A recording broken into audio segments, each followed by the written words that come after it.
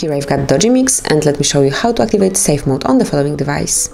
So at first tap on power key and hold it for a while and once you see power off tap simply hold it for about 3 seconds until you see such notification reboot to safe mode. So if you truly want to reboot into safe mode which will disable all third-party applications you have installed and they will be restored once you reboot again, click on OK and just wait a couple of seconds.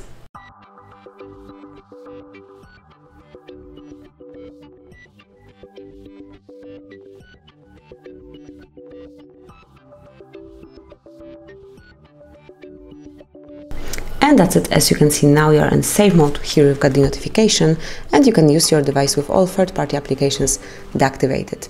Then if you would like to go back to the normal mode, simply tap on power key, hold it for about 3 seconds again and then click on restart.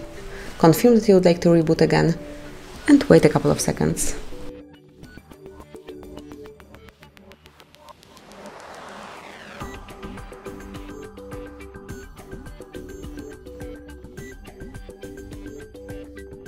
And that's it. As you can see now we are back in the normal mode, so that will be all. Thank you for watching, please subscribe our channel and leave the thumbs up.